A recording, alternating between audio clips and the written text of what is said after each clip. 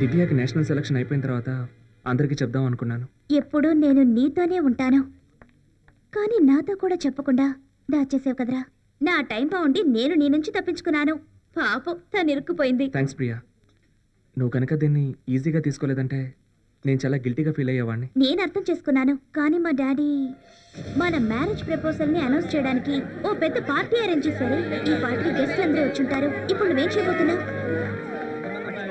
Hi. ఏ అఖిల్ రా రా రా. నీకోసం అందరూ వెయిటింగ్ అంకుల్ మీతో ఒక విషయం ఇప్పుడు చెప్పాలి. ఏం చెప్పొద్దు. నేను అనౌన్స్ చేసిన తర్వాత మాట్లాడుకుందాం. చెప్పరా? ఓకే డన్ త్వరగా వెళ్ళి announce చేయి. అంకుల్, నేను చెప్పేది ఎవ్రీబడి వినండి, come uncle. On I have a very happy and important announcement to make తర్వాత మాట్లాడుకుందాం. అఖిల్కి మా అమ్మాయి ప్రియాకి మ్యారేజ్ ఫిక్స్ చేశాను. త్వరలోనే పెళ్ళి జరగబోతోంది. దానికే ఈ పార్టీ. కమ్ ఆన్ ఆండ్రియా పాపం ప్రశాంత్ పై.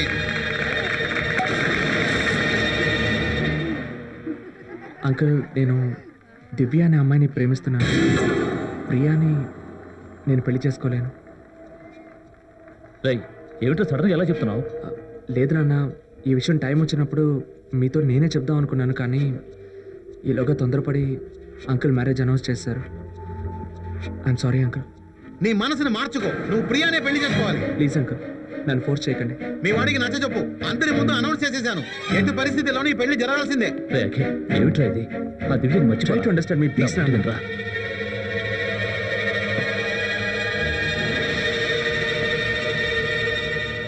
ఎంతగానో చెప్పి చూసాను చాలా అడమెంట్గా ఉన్నాడు రా వీడు నీకు పుట్టి ఉంటే నువ్వు చెప్పిన మాట వినేవాడు. ఎక్కడో ఎవతికో పుట్టిన వాడే కదా వీడు. ప్లీజ్ వద్దురా. అందుకే ఇలా తయారయ్యాడు.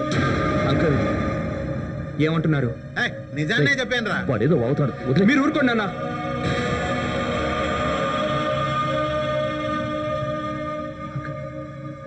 ఏమన్నారు చెప్పండి అంకుల్. ఎక్కడో ఎవరికో పుట్టిన వాడివని తెలిసి కూడా నిన్ను నా అల్లుడుగా చేసుకోవాలనుకున్నానే నాకు బాగా బుద్ధి చెప్పావురా. షటప్ షటప్ ఏయ్, ఏంట్రా షటప్ నేను అనేది అబద్ధం అయితే చెప్పమనరా? చెప్పమను.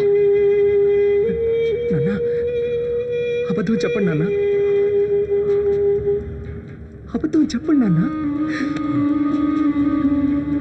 అబద్ధం చెప్పండి నాన్న. నాన్న. వెళదాం పద.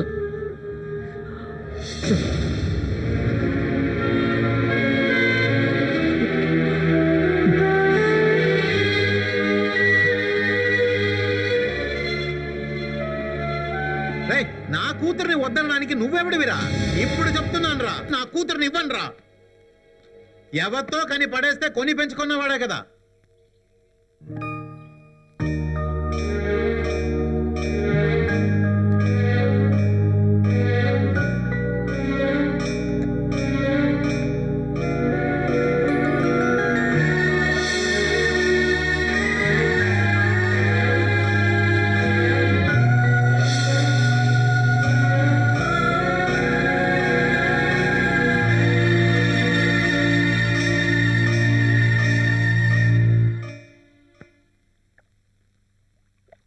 నువ్వు ఇండియాకి వెళ్ళి నిన్ను కన్నవాళ్ళని చూసిరా నాన్న.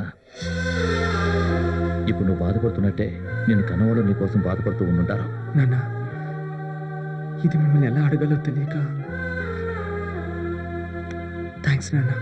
నువ్వు నా కొడుకురా. నీ మనసు నాకు తెలీదా? మీ నాన్న పేరు కృష్ణమూర్తి. వైజాగ్ గవర్నమెంట్ హాస్పిటల్లో ఇరవై ఐదేళ్ళ క్రితం అంబులెన్స్ డ్రైవర్గా పనిచేసేవారు.